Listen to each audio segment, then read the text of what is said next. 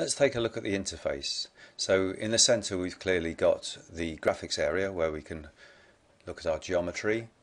Up the top here we've got some pull down menus, various ones. On the right hand side we've got some more menus and on the lower edge we've also got some other menus. So going back to the top edge here we've got these are just typical Microsoft style drop down menus in some cases multiple levels of those. So if we go to one of those options, it opens up a menu. For example, design points. You'll notice that against some of the functions like display and view layout there, we've got a shortcut key. So in this case, Control B. So I can either access that via the menu or I can use, just use Control B to open that menu. So it's worth learning those as you go along. There's, there's a handful of them around the system that you'll discover. If we go into Windows Preferences, we can actually set some options for the layout of the menus. So top left, we've got various ones, light grey, classic grey, dark grey. So we're going to stick with dark grey for the time being. I wouldn't recommend changing all of these, but you can do, that's um, entirely up to you. We've also got shaded background. I I personally don't like that. I prefer just to have a plain colour there. And you can choose whether you have a toolbar at the top. So you see this little toolbar that's appeared here. And you can also change the layout to be put the menus on the left or on the right. The right right hand side is the conventional way of doing it, and that's that's what I would be used to. But again, you can change that if you want to. In the middle here, we've got a zoom factor. So as I zoom in and out of the model, you can see that number changes. And also up here we've got a reference to the mouse button. So you've got mouse button 1, 2 and 3, left, middle, right. And when I press, for example, Alt and Control, you can see that that's with the left hand mouse button I'm rotating the model and that's an indication here of what that function is at the, at the present time. So we've got rotations, translations, which is the middle mouse button. So i have got, in this particular case, I've got Alt and Control picked, and you can translate that across the screen or up and down the screen. And then the right hand mouse button is either rotating about Z, Z is an axis out, out of the screen, so I'm moving it left to right there, or you can zoom in and out as well with the right hand mouse button. So at any one time those will tell you something about what the system is expecting from you. So it's worth knowing that that exists and worth looking up there if you're not sure what you're supposed to be doing next. Over on the right hand side we've got a miscellaneous set of functions here. So we've got for example display options. So these are global type functions at the top, display options, reference manager which allows us to bring in geometry from other models just as background display light and display material. And then below there we've got standard views on the left hand side and then we've got the equivalent work planes on the right hand side which we can't see at the moment. We'd need to go into that in detail later. We've also got the ability to put that in perspective mode or orthogonal view so it always looks a bit strange when you look at an exterior without perspective on, but often working without perspective on is the preferred way of doing things. And then we've got some zoom windows down here, so we can click on the square button there and we can just drag a window around an area that we're interested in and zoom in. And if you want to get out of that view, you want to go back to the previous view, you can press the function key F3 just takes you back to the previous view. And it just toggles between the previous view and the current view so that's F3 if I'm zoomed in the other way you can come out of there is to use the auto zoom which is that one there. So that just pulls us back so we can see the, all of the geometry. And then we've got things like uh, display tessellation which controls the accuracy of the the image in terms of the lines and the shading down on the bottom bar here, we've got a great big area of nothing, which just tells us that ICEM has been developed by Dassault. And then there's some what are called service functions here. So we've got ability to create work planes, for example. We've got view, navigation, display options, so that's controlling what things look like on the screen. We've got lists, which is the ICEM equivalent of layers. We've got sections, diagnostics, and the very important delete button, which allows us to delete things. So I can just pick an area and delete it.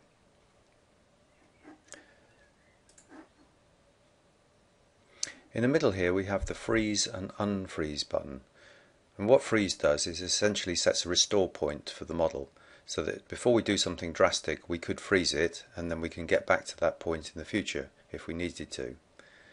So for example if we delete something, so I'm going to delete this area, so I've picked it using delete and the left hand mouse button there.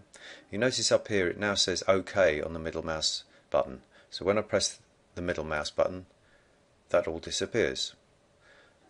It's now changed to undo. So if I wanted to undo that step, I can go back to where I was. Then it's gone to redo, so I can toggle between those two states, and that's the sum total of all the undo that you've got in ICEM. Supposing I deleted this, bear in mind we've set a restore point with the freeze button. Now I've deleted some more stuff, so I'm using the middle mouse button again to OK that. And then I think, oh, didn't mean to do those two steps, so I'm going to undo. But I can't get back to where I was originally uh, because I can only toggle between the undo state and the redo state. So I've lost that data. But we can go back to the freeze point by saying undo freeze. And that's taken us back to the point that we've originally froze the model. I would not recommend using these buttons at all. I would use file save as because freeze is not saving it to the disk, whereas file save as is of course saving it to the disk. So you're much safer off to, to use file save as than freeze. You have been warned. Down here we have geometry functions. So the actual functions themselves are in this area here. And you'll notice that there's a lot of blanks in these areas. The reason for that is that there's some controlling icons down here. So if I just click through some of those, you'll see that the the names, the icons on the left change depending on what function I've picked.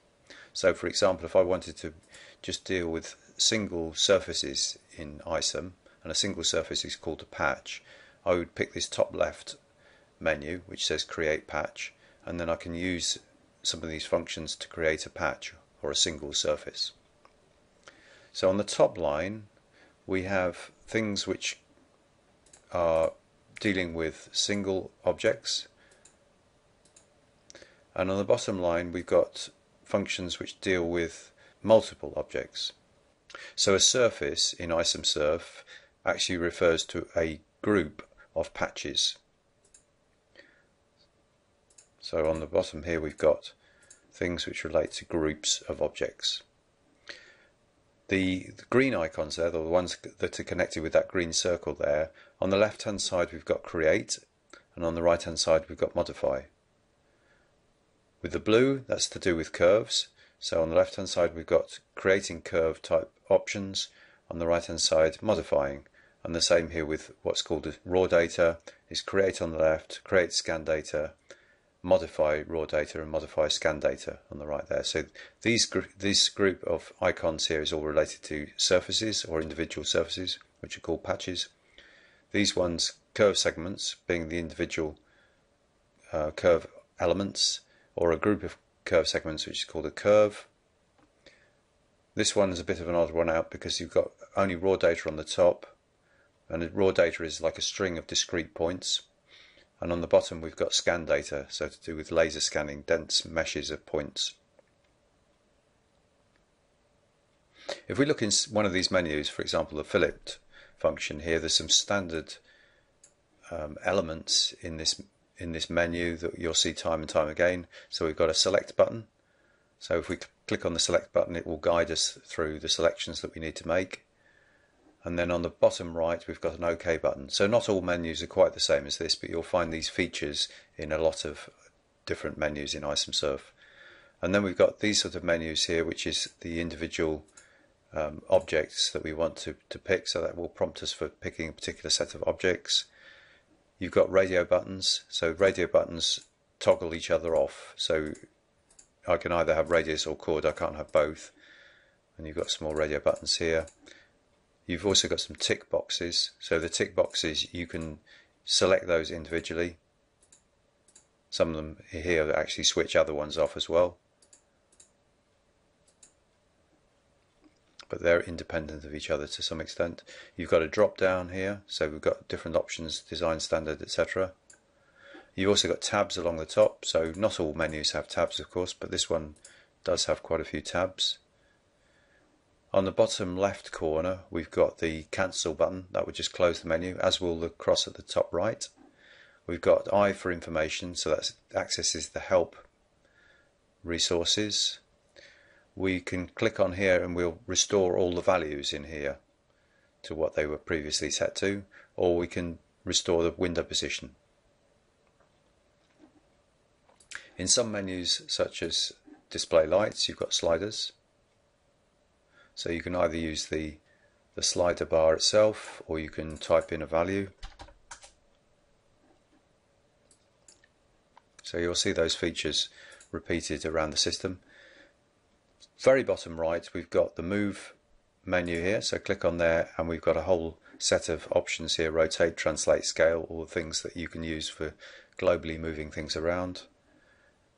You've got something called symmetry, which lets us set up our surfaces that go across the center line so that they are symmetric at the center line. And then you've got this thing called unified modeling. Unified modeling is a is a, almost a subsystem in itself, which we will cover later on in the course. Some users never use unified modeling, but it has some great features in there which are well worth learning.